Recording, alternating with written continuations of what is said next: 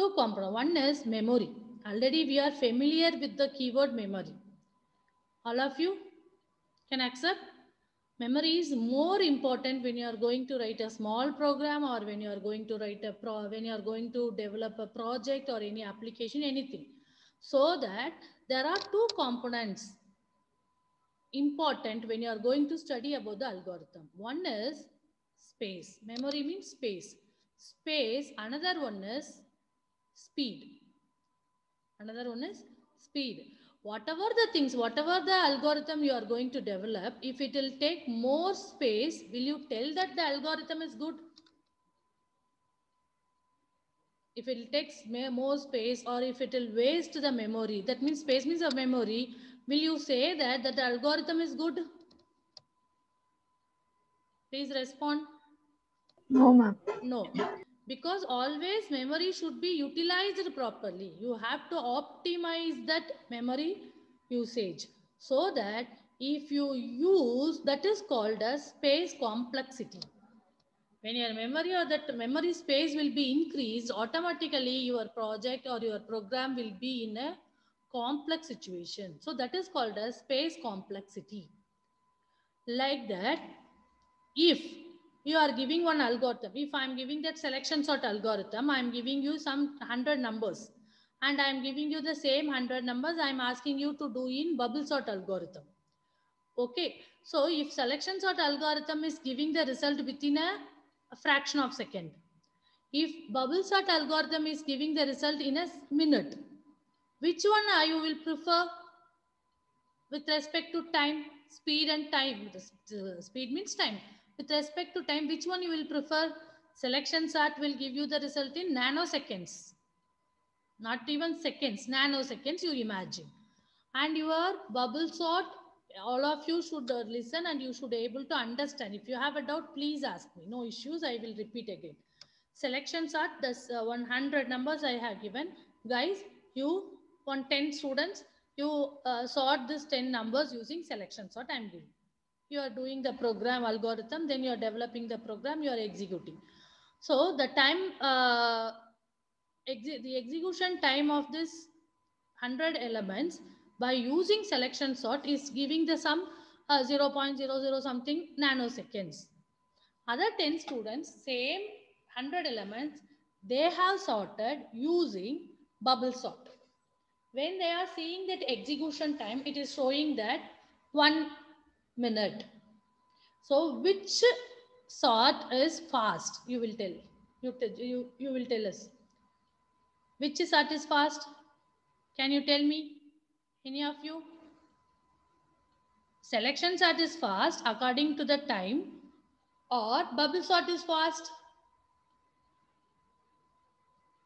Are you there? Dear my students?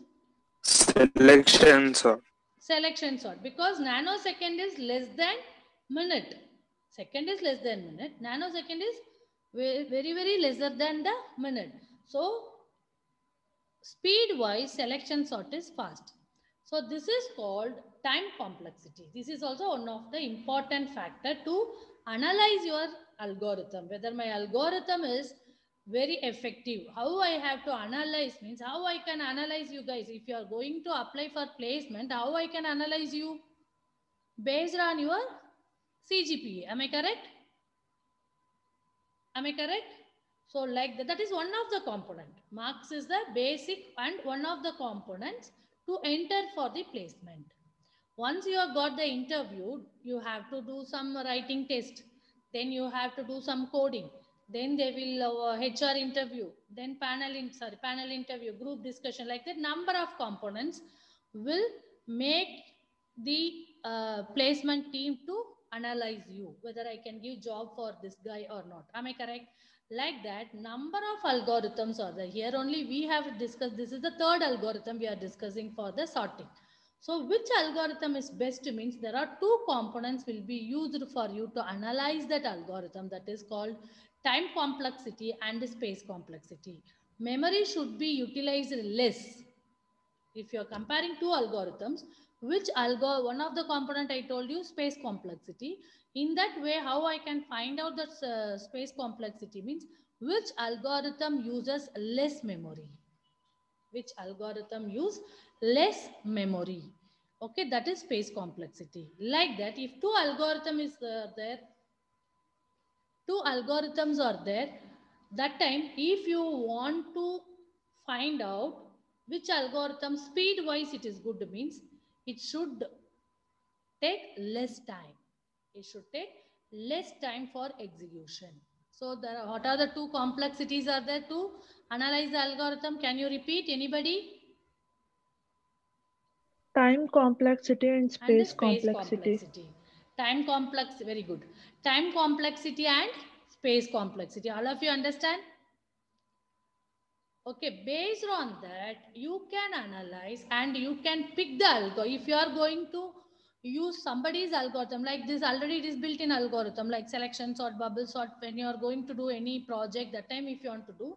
So if selection sort is utilizing less space and it is taking less time means instead of bubble sort, you will prefer selection sort.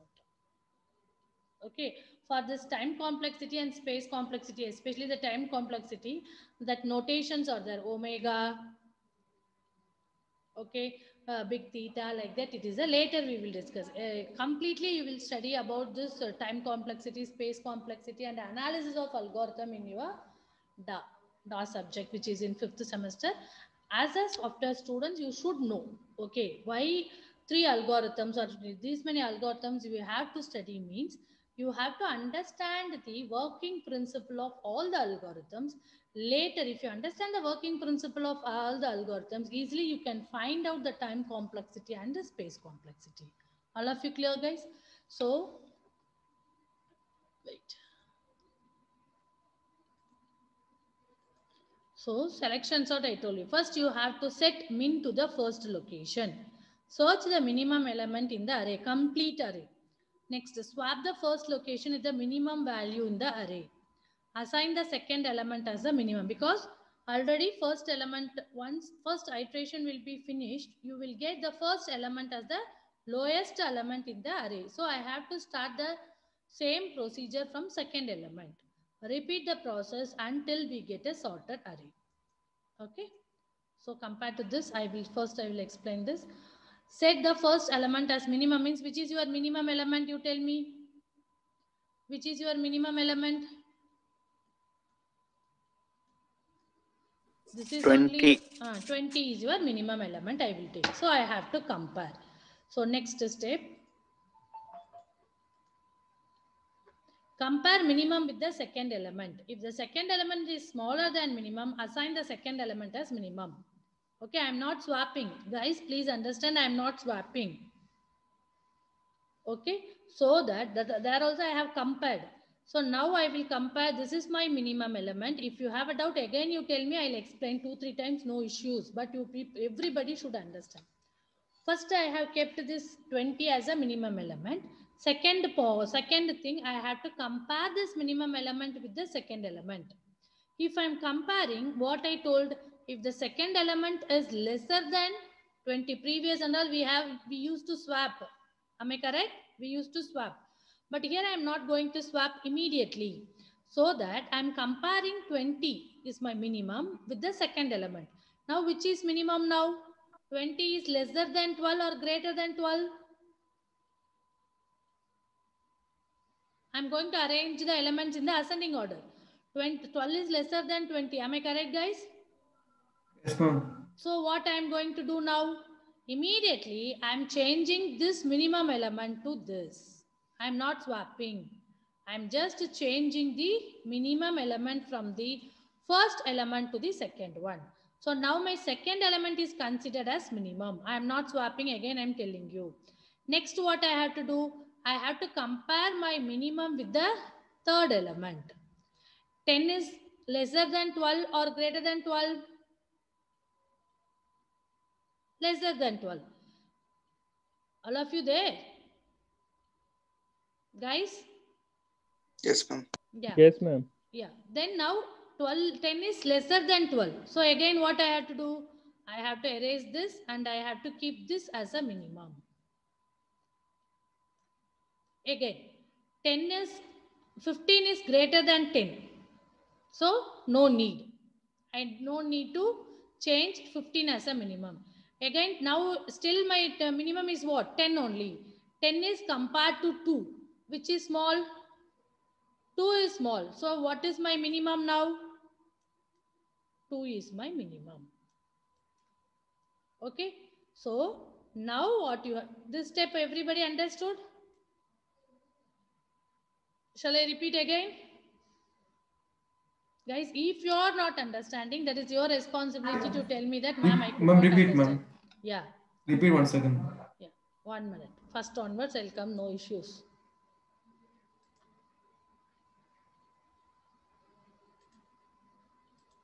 Now, this is my minimum.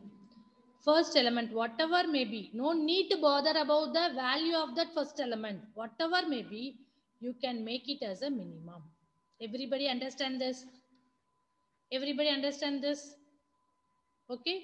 Then I will compare first element with the second element. That is my minimum element with the second element. Now you tell me 12 is lesser than minimum or greater than uh, minimum. That means 12 is lesser than 20 or greater than 20 Less. less. So immediately what you have to do, you have to change this minimum from 20 to, you have to give lesser means the second element will become your minimum. Sorry, second element is become your minimum. Okay. Again, what I have to do, I have to compare this two. I have to compare this two. Again, 10 is lesser than 12. Am I correct, guys? 10 is lesser than 12. So that what I'm going to do, I'm going to write 10 is minimum. Now I'm comparing these two. 15 is greater than 10 or less than 10? Greater. Greater. So if the first, second element is lesser than the minimum element only, I will change the position of the minimum. But here 15 is lesser than, the condition is not satisfied. So 10 will be continuing the minimum. So next step what I have to do, I should not put change the minimum position. Now I have to compare 10 and 2, which is 2 is lesser than 10 or greater than 10? Lesser than 10. 10. So automatically what will become minimum now? 2. 2 will become a minimum.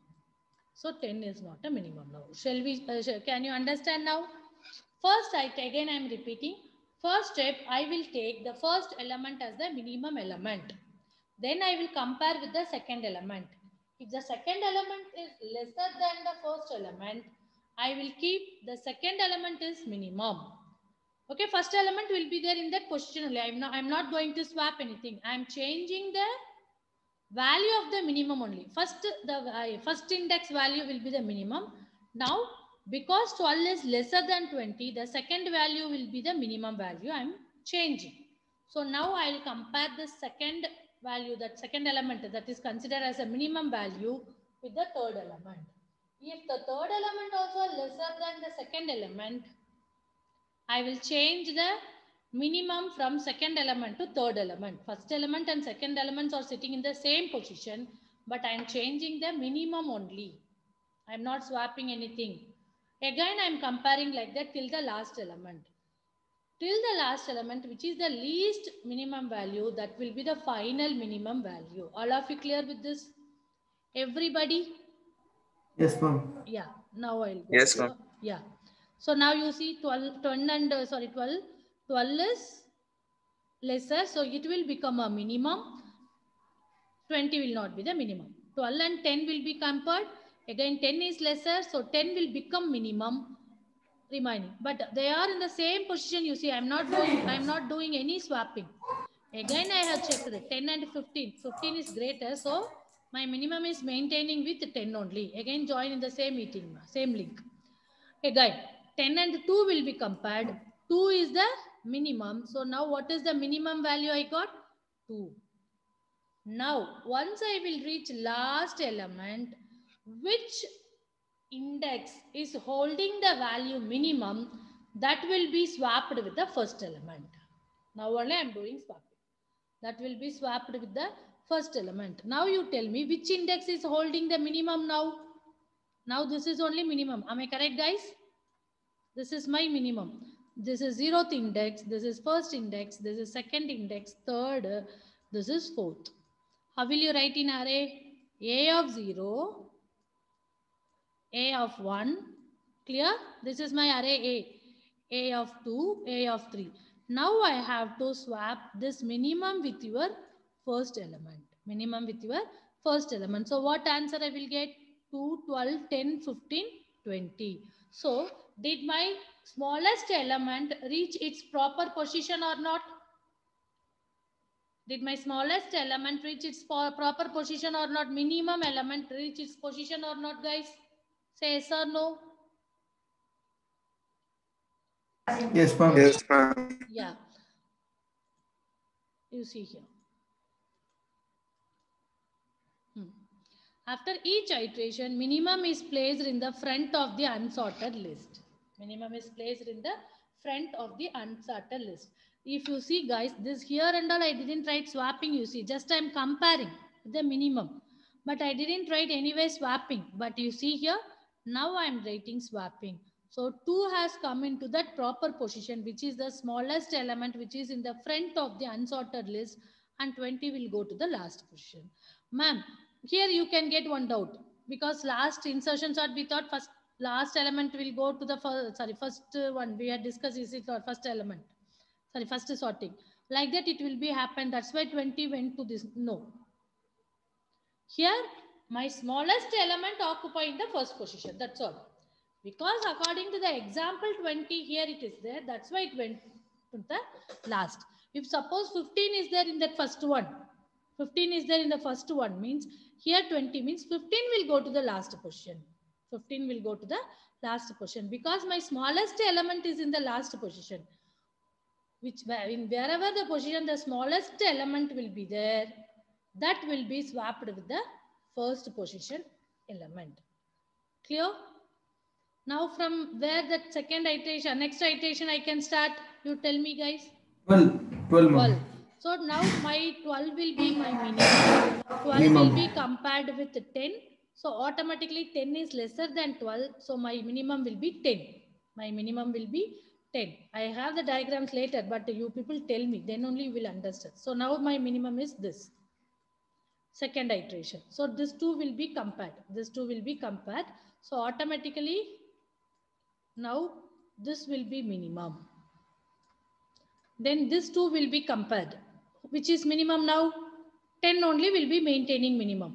Again 10 will be compared with 20. 20 also greater than 10. Now which will be minimum you tell me? 10 only the 10 minimum. will be minimum. So now what I have to do? Now I have to do swapping. Swapping. Now I have to do swapping. So I will get 2, 10, 12, 15, 20. Clear guys? Everybody? Now which is minimum? Yes. Now which is minimum? Third element. Third element is what? 12 is the minimum. Then it will be compared. Minimum won't be changed because 12 is lesser than 15.